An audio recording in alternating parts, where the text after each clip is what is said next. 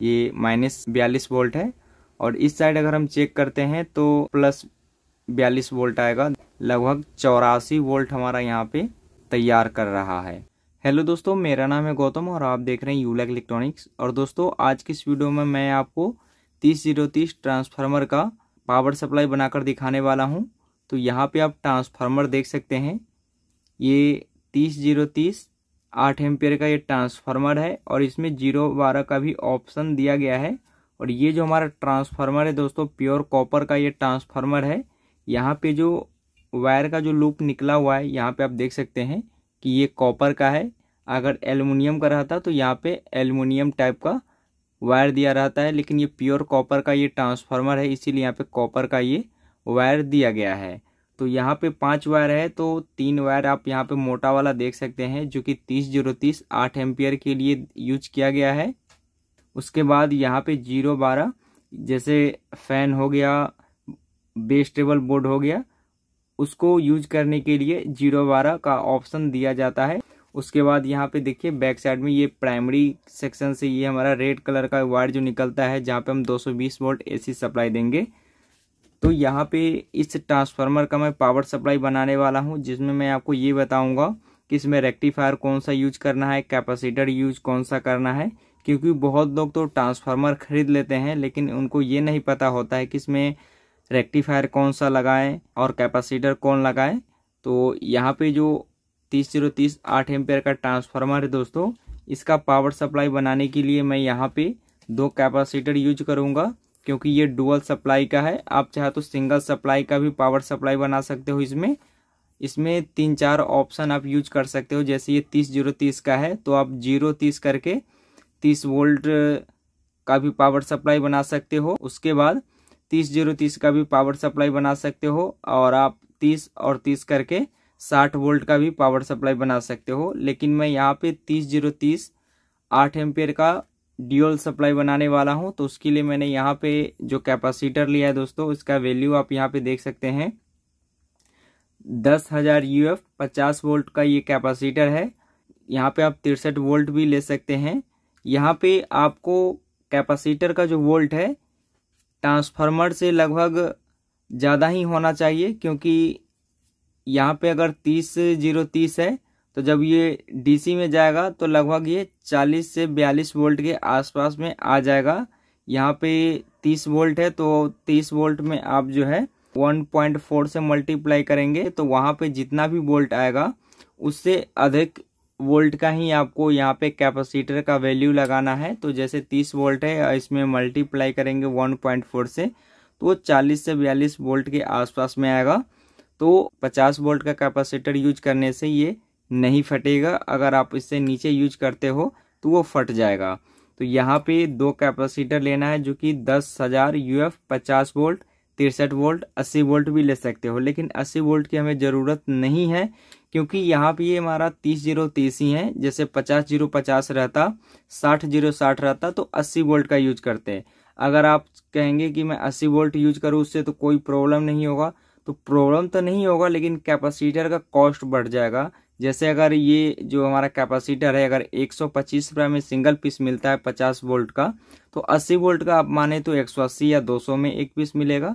तो वो प्राइस का फ़र्क हो जाता है। बाकी यहाँ पे अगर ये यूज़ हो रहा है वोल्ट के अकॉर्डिंग तो आप ये ही यूज़ करें। ठीक है? उसके बाद मैं यहाँ पे रेक्टिफायर यूज़ करने वाला हूँ। देखिए ये पंद्रह एम्पियर का रेक्टिफायर है और ये पचास वोल्ट से लेके हज़ार वोल्ट तक ये वर्क करता है। और ये बहुत ही अच्छा रेक्टिफायर है, बहुत जगह यूज़ किया जाता है, बहुत ही हैवी ये रेक्टिफायर है तो मैं इसका यूज़ करने वाला हूँ। क्योंकि बहुत लोग क्या करते हैं कि कैपेसिटर तो बड़े लगा देते हैं, लेकिन रेक्टिफायर के जगह पे वही चौवन ज़ीरो आठ या सिक्स फोर ए जो डायोड आते हैं नॉर्मली वही यूज़ कर लेते हैं।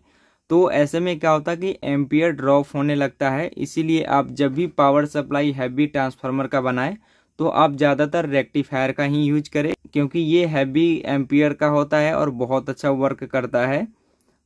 उसके बाद यहाँ पे देखिए ज़ीरो बारह के लिए नॉर्मल सा रेक्टिफायर बना लेंगे। जैसे तिरपन निन्यानवे हो गया, चौवन ज़ीरो आठ हो गया, आप वो यूज़ कर सकते हो, आप चार हज़ार सात भी यूज़ कर सकते हो। क्योंकि यहाँ पे 500 मिली एम्पियर से एक एम्पियर के बीच में ही होता है तो आप चार हज़ार सात तिरपन निन्यानवे वो डायोड भी यूज़ कर सकते हो। तो मैं इसका भी पावर सप्लाई बनाकर दिखाने वाला हूँ। तो इसको साइड में रखते हैं और इस कैपेसिटर और इस रेक्टिफायर को मैं एक पीसीबी पर डिज़ाइन करता हूँ, क्योंकि ये जो मैं पावर सप्लाई बना रहा हूँ दोस्तों नेक्स्ट प्रोजेक्ट में आपको एक 2.1 का हैवी एम्पलीफायर बनाकर दिखाने वाला हूँ।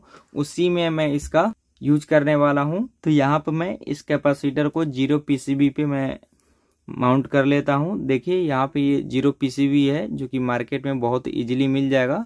और दोस्तों, यहाँ पे देखिए, मैंने ऑलरेडी इसमें होल करके रखा है, क्योंकि इसमें जो पहले होल होते हैं, बहुत ही छोटे होते हैं। तो देखिए दोस्तों, मैं यहाँ पे इसको कुछ इस प्रकार से लगाने वाला हूँ। यहाँ पे इस प्रकार से मैंने लगा दिया है। जैसे देखिए, इस साइड अगर माइनस है तो इस साइड प्लस आ गया। तो इस साइड दूसरे कैपेसिटर का माइनस रखना है। क्योंकि मैं यहाँ पे डुअल सप्लाई बना रहा हूँ, इसीलिए आपको इसी प्रकार से कैपेसिटर का कॉम्बिनेशन रखना है। जैसे यहाँ पे देखिए, ये हमारा माइनस है और ये वाला प्लस है तो दूसरे वाला कैपेसिटर का ये माइनस है और ये प्लस है। तो बीच में जो माइनस और प्लस एक साथ जुड़ेगा, ये ग्राउंड में चला जाएगा, बाकी यहाँ पे ये माइनस हो जाएगा और प्लस हो जाएगा। तो इस कैपेसिटर को मैंने ज़ीरो पीसीबी पे लगा दिया है और यहाँ पर मैं इसको सोल्डरिंग कर लेता हूँ। उसके बाद मैं यहाँ पे इस रेक्टिफायर को लगाकर इसके साथ कनेक्शन करके दिखाता हूँ। तो यहाँ पे देखिए दोस्तों, मैंने इस कैपेसिटर को ज़ीरो पीसीबी पे अच्छे से सोल्डिंग कर लिया है। उसके बाद मैं यहाँ पे क्या करूँगा कि ये जो हमारा रेक्टिफायर है, इसको मैं इस साइड से लगा लेता हूँ। आप अपने हिसाब से कहीं भी इसको लगा सकते हैं, लेकिन आपको ये भी देखना है कि ये जो हमारा कैपेसिटर है, इसका माइनस साइड कौन सा है और प्लस साइड कौन सा है। तो यहाँ पे इस रेक्टिफायर में अगर हम देखें तो सब कुछ क्लियर लिखा हुआ है यहाँ पे। ये जो हमारा फ़र्स्ट वाला पिन है, ये माइनस का है और ये प्लस का है, बीच वाला दोनों एसी के लिए है। और यहाँ पे एक कट का भी निशान बना होता है। अगर ये एसी भी नहीं लिखा है माइनस प्लस भी नहीं लिखा हुआ है। तो ये जो हमारा कट होता है, ये प्लस होता है। तो जैसे ये जो प्लस हो जाएगा और जस्ट इस साइड माइनस हो जाएगा। बीच वाला हमेशा दोनों एसी के लिए होता है। तो मैं यहाँ पे इसको लगा लेता हूँ, क्योंकि कैपेसिटर का माइनस इस साइड है। तो यहाँ पे इस कैपेसिटर का माइनस इस साइड है। मैं यहाँ पे इस प्रकार से लगा देता हूँ इसमें। इस प्रकार से मैंने लगा दिया है। आप चाहे तो इस रेक्टिफायर के साथ हीट हीटसिंग भी लगा सकते हो, लेकिन ये ज़्यादा हीट भी नहीं होता है। यहाँ पर मैं इस लेग को इस कैपेसिटर के साथ कनेक्शन करने वाला हूँ। देखिए दोस्तों, मैंने इस रेक्टिफायर को मैंने यहाँ पे इस प्रकार से लगा दिया है। और ये जो हमारा ये वाला पिन है, ये रेक्टिफायर का प्लस है और ये रेक्टिफायर का माइनस है। तो यहाँ पे ये जो हमारा पिन है, ये आ जाएगा इस कैपेसिटर के माइनस वाले में, इस साइड देखिए माइनस है। तो ये डायरेक्ट रेक्टिफायर का माइनस इस कैपेसिटर का माइनस पे आ जाएगा। उसके बाद यहाँ पे प्लस वाला कैपेसिटर के प्लस पे आ जाएगा। ये दोनों हमेशा खाली रहेगा क्योंकि इसमें सप्लाई आएगा ट्रांसफार्मर का एसी वाला वायर और ये जो हमारा दोनों पॉइंट है दोस्तों, ये आपस में एक साथ हमें कनेक्शन करना है। मैं आगे आपको कनेक्शन करके दिखाऊँगा। सबसे पहले मैं यहाँ पे वायर के थ्रू इस कैपेसिटर के साथ कनेक्शन कर लेता हूँ। तो आइए मैं यहाँ पे फटाफट से माइनस और प्लस का कनेक्शन इस कैपेसिटर के साथ करके आपको दिखाता हूँ। तो देखिए दोस्तों, यहाँ पे मैंने इस कैपेसिटर में सोल्डरिंग कर दिया है इस रेक्टिफायर से। ये जो हमारा रेक्टिफायर का माइनस है, ये चला जाता है इस कैपेसिटर के माइनस पे। और दूसरे कैपेसिटर पे चला जाता है प्लस पे। तो इस कैपेसिटर का प्लस और इस कैपेसिटर का माइनस, ये दोनों पॉइंट अभी हमारा खाली है यहाँ पे। तो ये वाला और ये वाला, आपस में एक साथ कनेक्ट हो जाएगा, ये किसी रेक्टिफायर के साथ कनेक्ट नहीं होगा। ये आपस में एक साथ कनेक्ट रहेगा, ये ग्राउंड हो जाएगा, उसके बाद यहाँ पे ये दोनों एसी के लिए हो जाएगा। तो मैं यहाँ पे एक साथ इस दोनों पॉइंट को कनेक्ट कर लेता हूँ। तो यहाँ पे देखिए दोस्तों, मैंने इस कैपेसिटर का प्लस और माइनस एक साथ मैंने कनेक्ट कर दिया है। तो कुछ इस प्रकार से रेक्टिफायर और कैपेसिटर का कनेक्शन होगा और यहाँ पे तीस ज़ीरो तीस कैसे कनेक्ट होगा यहाँ पे तो मैं आपको बता देता हूँ। जैसे तीस ज़ीरो तीस जो आएगा तो ज़ीरो वाला यहाँ पे कनेक्ट हो जाएगा और तीस और तीस यहाँ पे कनेक्ट हो जाएगा। और आपका जो प्योर डीसी आउटपुट कहाँ से होगा? माइनस यहाँ से होगा। प्लस यहाँ से होगा और ज़ीरो से ही वो जीएनडी आउटपुट हो जाएगा। इस प्रकार से यहाँ पे तीस ज़ीरो तीस के लिए यहाँ पे पावर सप्लाई बन चुका है। इसके बगल में मैं एक छोटा सा पावर सप्लाई बनाने वाला हूँ, जो कि ज़ीरो बारह के लिए होगा। तो दोस्तों, मैं यहाँ पे 12 वोल्ट पावर सप्लाई के लिए ये वाला रेक्टिफायर यूज़ करने वाला हूँ। डी टू एस बी साठ, ये डेढ़ एम्पियर का रेक्टिफायर है और 600 वोल्ट तक ये काम करता है। उसके बाद यहाँ पे कैपेसिटर इसमें मैं बाईस सौ यू एफ़ पच्चीस वोल्ट का मैं यूज़ करने वाला हूँ। तो यहाँ पर मैं इस रेक्टिफायर को लगा लेता हूँ और इस कैपेसिटर को भी मैं यहाँ पे लगा लेता हूँ। तो यहाँ पे देखिए, इस रेक्टिफायर का जो प्लस वाला पॉइंट है, ये हमारा लेफ़्ट साइड में है और इस रेक्टिफायर का प्लस राइट साइड में है। तो ये कोई ज़रूरी नहीं है कि प्लस राइट साइड में ही होगा। ये लेफ़्ट साइड में भी हो सकता है, राइट साइड में भी हो सकता है। यहाँ पे राइट साइड में है और इस रेक्टिफायर में लेफ़्ट साइड में है। तो मैं यहाँ पे इसको पहले सोल्डिंग कर लेता हूँ। उसके बाद मैं यहाँ पे इस कैपेसिटर का भी यहाँ पे कनेक्शन कर लेता हूँ। तो देखिए, ये जो हमारा कैपेसिटर है, इसका प्लस इधर है और माइनस इधर है ताकि मैं कनेक्शन अच्छे से कर सकूँ।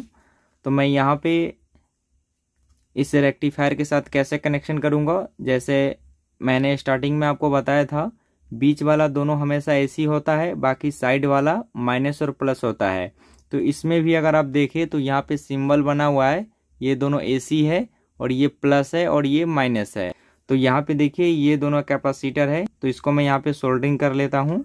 यहाँ पे मैंने कैपेसिटर को सोल्डरिंग कर दिया है, और उसके बाद मैं यहाँ पे इस रेक्टिफायर का जो प्लस वाला पॉइंट है, इस कैपेसिटर के प्लस वाले में मैं कनेक्शन कर दूँगा और जो माइनस वाला है, वो माइनस के साथ मैं यहाँ पे कनेक्शन कर दूँगा। ये दोनों बीच वाला खाली रहेगा क्योंकि ये दोनों हमारा पावर सप्लाई एसी के लिए है तो मैं यहाँ पे एसी के लिए इसको अलग से निकाल दूँगा, जिसमें 12 वोल्ट आएगा, जो ट्रांसफार्मर से आएगा। और ये दोनों जो पिन हमारा बच गया है, ये कैपेसिटर के माइनस पे चला जाएगा और ये कैपेसिटर के प्लस पे चला जाएगा। तो आइए मैं यहाँ पे इसका कनेक्शन कर लेता हूँ। तो यहाँ पे देखिए दोस्तों 12 वोल्ट के लिए हमारा पावर सप्लाई बन के तैयार हो चुका है। ये जो हमारा रेक्टिफायर है, इसका दोनों बीच वाला पिन ये ज़ीरो बारह के लिए निकल जाता है। और इस रेक्टिफायर का जो लेफ़्ट वाला पिन है, ये हमारा प्लस कैपेसिटर में चला जाता है और ये वाला जो राइट वाला है, ये चला जाता है माइनस में। इस साइड आप देख सकते हैं कैपेसिटर का ये माइनस वाला पॉइंट है। तो इस प्रकार से तीस ज़ीरो तीस और ज़ीरो बारह के लिए मैंने यहाँ पे पावर सप्लाई बना दिया है। और बारह वोल्ट यहाँ से निकलेगा, जो कैपेसिटर का माइनस और प्लस है, यहाँ से निकलेगा। और इसका जो तीस ज़ीरो तीस है, यहाँ से निकलेगा, जैसे ये हमारा माइनस तीस होगा, ये ग्राउंड होगा, प्लस तीस होगा। तो ये जो हमारा ट्रांसफार्मर है, इस पर मैं इसका कनेक्शन करूँगा, जैसे यहाँ पे देखिए तीस ज़ीरो तीस है। तो यहाँ पर मैं इसका कनेक्शन करके आपको दिखाऊँगा। तो देखिए, ये हमारा तीस ज़ीरो तीस है। बीच वाला हमारा ग्राउंड है, बाकी साइड वाला दोनों ब्लैक कलर है। ये हमारा तीस और तीस है। ये जो हमारा तीस और तीस है, इस रेक्टिफायर के दोनों बीच में चला जाएगा।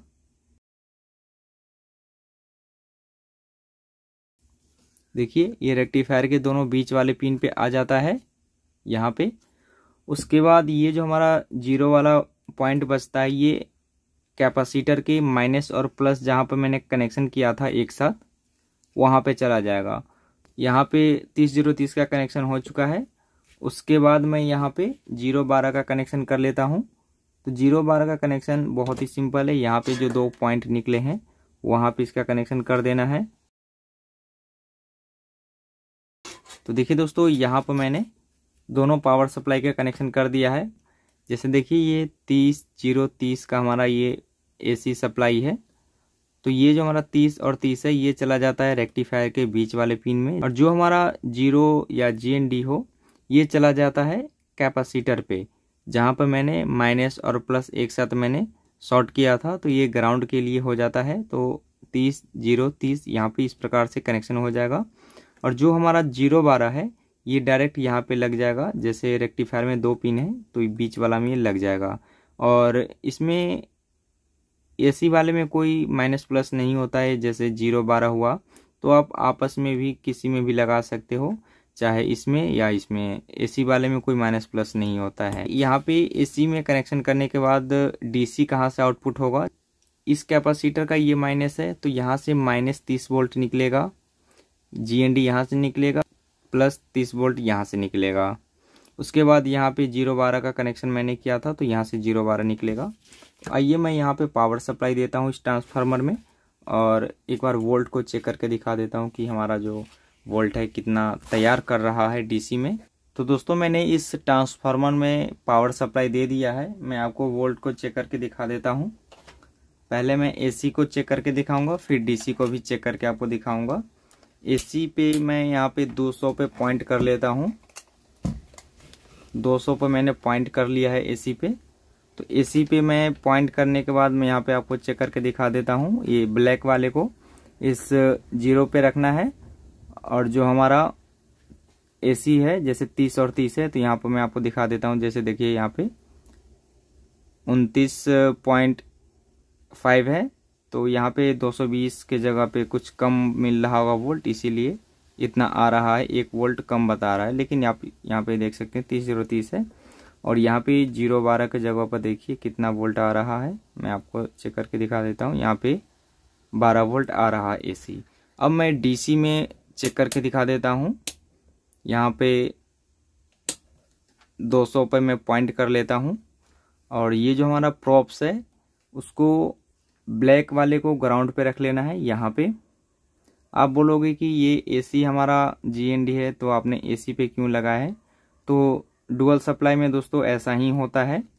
आपको यहाँ पे माइनस प्लस जहाँ पे कैपेसिटर मिलता है, वहाँ पे जीएनडी बनता है।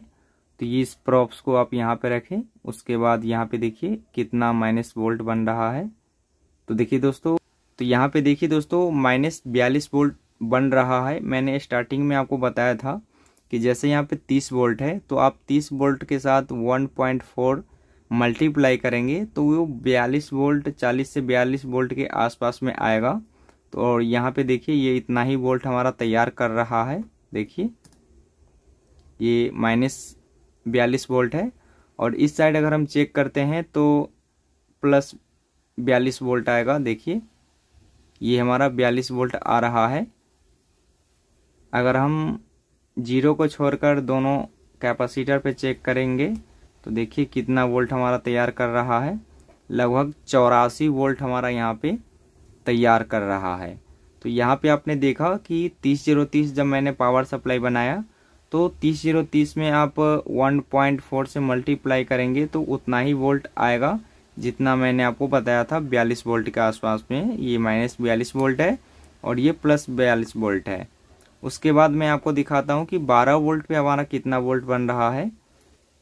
तो इस साइड हमारा माइनस, इस साइड हमारा प्लस है और इस साइड हमारा माइनस है। तो यहाँ पे चेक करने के बाद देखिए दोस्तों, कितना वोल्ट हमारा बन रहा है। लगभग 16 वोल्ट बन रहा है। 16 वोल्ट बन रहा है। जब इस पे लोड पड़ेगा तो लगभग ये दो तीन वोल्ट ड्रॉप होगा। ज़्यादा वोल्ट इसलिए बता रहा है क्योंकि यहाँ पे 25 वोल्ट का कैपेसिटर लगा है। यहाँ पे 16 वोल्ट का भी कैपेसिटर चलेगा, क्योंकि 12 वोल्ट का ये हमारा लूप निकला हुआ है। लेकिन ज़्यादातर आप कोशिश करें कि इस पर पच्चीस वोल्ट का ही कनेक्शन करें तो अच्छा रहेगा। तो यहाँ पे आपने देखा कि ये बहुत अच्छा से हमारा काम कर रहा है, पावर सप्लाई। और ये जो हमारा रेक्टिफायर है दोस्तों, ये हिट बिल्कुल नहीं हो रहा है। क्योंकि पावर सप्लाई के अकॉर्डिंग मैंने यहाँ पे कैपेसिटर रेक्टिफायर सभी का ध्यान मैंने रखा है। तो यहाँ पे हीटिंग का कोई इशू नहीं है और पावर सप्लाई बहुत अच्छा से काम कर रहा है। तो इस प्रकार से दोस्तों आप तीस ज़ीरो तीस आठ एम्पियर का ट्रांसफार्मर से पावर सप्लाई बना सकते हो। तो दोस्तों हमारा वीडियो कैसा लगा तो प्लीज़ लाइक करें शेयर करें और हमारे यूट्यूब चैनल को सब्सक्राइब करें। वीडियो देखने के लिए धन्यवाद। आपका दिन शुभ हो।